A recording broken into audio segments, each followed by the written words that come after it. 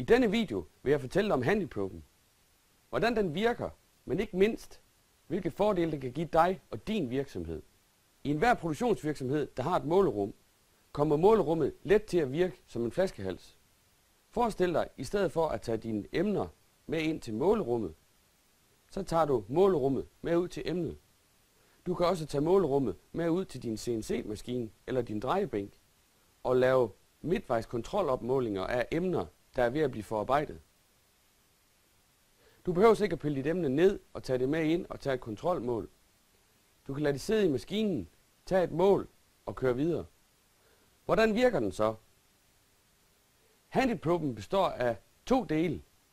Dels C-tracken, som vi ser her, med to kameraer, og infrarøde lysdioder. De infrarøde lysdioder kaster det infrarøde lys ud på reflekserne på handyproben. Handyprobens reflekser er kendt af C-tracken. C-tracken ved derfor hele tiden, hvor i det tredimensionelle rum handyproben er placeret. For at tage en måling, placerer man handyproben på sit emne, trykker på tasten i midten, som er tag måling. Der lyder et lille bip. Målingen er taget, og du er straks på din computerskærm kunne se, om målingen er godkendt eller ikke godkendt. Kommer du til at lave en fejl, eller du vil tage målingen igen, trykker du på krydset for cancel. Du kan tage målingen igen, når du er tilfreds, trykker du på godkend. Målingen er lagret og kan bruges direkte i jeres kvalitetskontrol.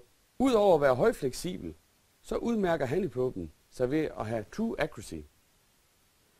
True accuracy vil sige, at man kan binde emnet fast i softwaren, så uanset om man bevæger C-tracken eller man bevæger emnet, så sørger softwaren for, at opretningen stadigvæk er den samme.